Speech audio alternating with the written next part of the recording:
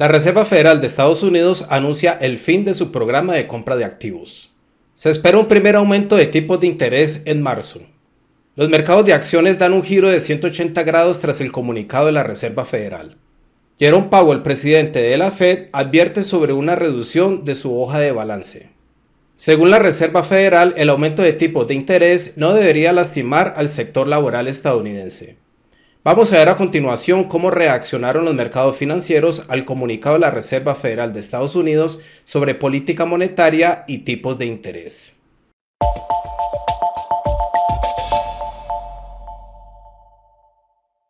Hola, mi nombre es Alexander Londoño, analista de mercados del broker Active Trace. La Reserva Federal de Estados Unidos se prepara para terminar con su programa de compra de activos y subir los tipos de interés. El primer aumento de tipos de interés se podría dar hacia mediados de marzo. A inicios de marzo se debería de haber culminado con el programa de compra de activos y durante la reunión del 15 al 16 de marzo se implementaría el primer aumento de tipos de interés. Actualmente los tipos de interés en Estados Unidos están por debajo del 0,25%. El primer aumento podría ser precisamente el 0,25% y se esperan tres aumentos más para este año.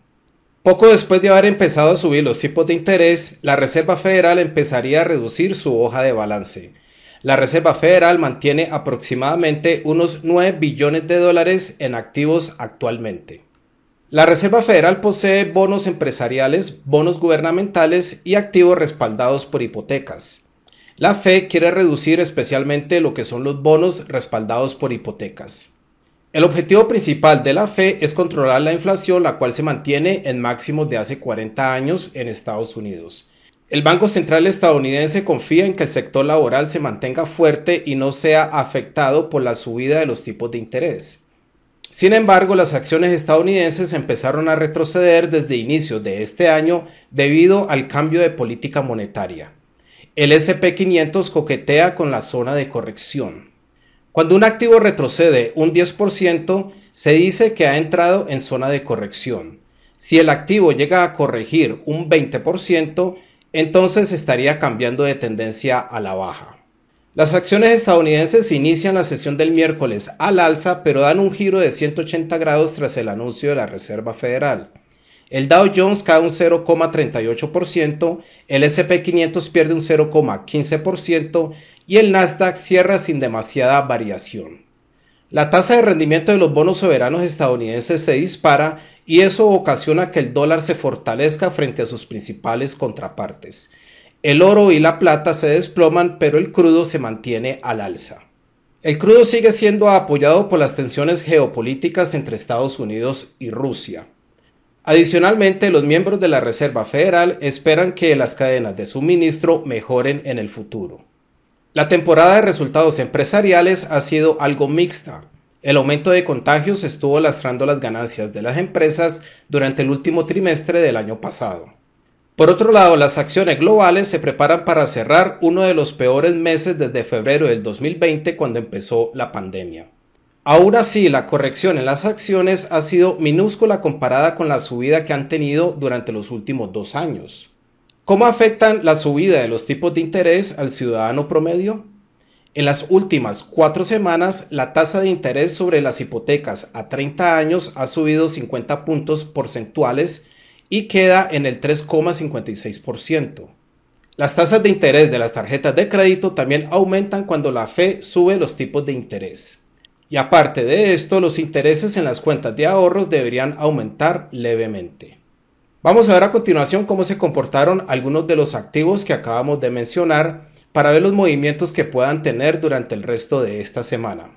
Aquí tenemos el gráfico diario del Dow Jones y podemos ver la alta volatilidad que se ha presentado en este índice durante esta semana.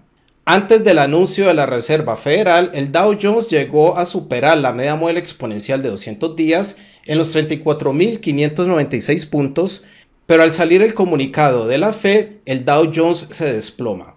Vuelve y cae y es posible que la zona de los 33.520 puntos actúe como soporte. De continuar cayendo hacia la zona de los 33.102 puntos, el Dow Jones estaría entrando en zona de corrección. Sobre el gráfico diario del SP500 también vemos alta volatilidad y vemos cómo el índice cambió de dirección tras el anuncio de la Fed. Vemos que se encuentra en la zona de corrección alrededor de los 4.314 puntos. Es posible que esa zona actúe como soporte para el SP500, pero de continuar cayendo tal vez este mínimo alrededor de los 4.217 puntos actúe como soporte. La media móvil exponencial de 55 días en el SP500 ha cambiado de dirección hacia abajo y esto nos indica de que la tendencia bajista a corto plazo se mantiene fuerte. Sobre el gráfico diario del Nasdaq vemos que el índice encuentra una zona de soporte alrededor de los 14.000 puntos, pero la media móvil exponencial de 55 días también cambia de dirección hacia abajo. Esto nos indica que es posible que el Nasdaq continúe cayendo. El próximo nivel de soporte para el Nasdaq podría estar alrededor de los 13.479 puntos. Sobre el gráfico diario del FTSE 100 de Reino Unido también vemos alta volatilidad. Vemos que el índice retrocede hasta la zona de los 7.500 puntos, pero de aquí regresa otra vez hacia la media móvil exponencial de 55 días en los 7.361 puntos. A diferencia del Dow Jones, el SP500 y el Nasdaq, la media móvil exponencial de 55 días en el FTSE 100 todavía mantiene una leve inclinación hacia arriba. Esto nos indica de que es posible que el índice regrese al alza, pero de confirmar una ruptura real por debajo de esa media móvil, su próximo nivel de soporte podría estar alrededor de la media móvil exponencial de 200 días en los 7131 puntos. El DAX de Alemania retrocede hacia la media móvil exponencial de 200 días en los 15.385 puntos, deja una falsa ruptura y regresa hacia abajo. Sobre el DAX vemos que esta zona de los 15.000 puntos ha actuado como un buen soporte incluso en el pasado. O sea que no es nada raro de que al volver a visitar ese nivel intente regresar hacia arriba pero de confirmar una ruptura real por debajo de los 15.000 puntos, su próximo nivel de soporte podría estar alrededor de los 14.500 puntos. El CAC 40 de Francia se mantiene encajonado en medio de la media móvil exponencial de 55 días y la media móvil exponencial de 200 días. Vemos cómo el índice retrocede hasta la media móvil exponencial de 55 días en los 7.036 puntos donde encuentra una resistencia y de aquí intenta rebotar hacia abajo.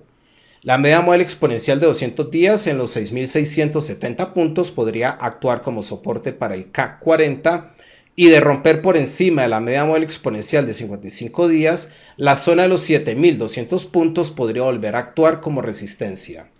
El IBEX 35 de España vemos que ha tenido movimientos bastante interesantes.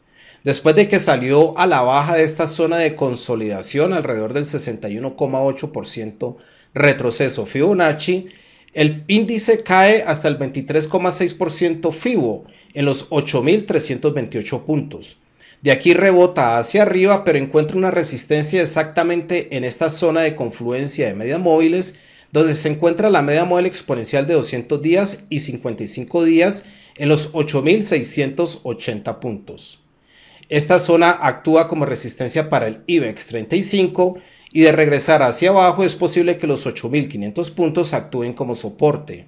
Pero de romper esa zona de confluencia de media móviles hacia arriba, el IBEX 35 estaría entrando de nuevo en esta zona de congestión donde se podría consolidar una vez más. Sobre el gráfico diario del euro frente al dólar vemos que la paridad completa cuatro sesiones consecutivas cayendo y es posible que la zona del 1.1220 actúe como soporte así como lo hizo en el pasado. El euro frente al dólar entra otra vez a esta zona de congestión en donde podría permanecer encajonado durante más tiempo.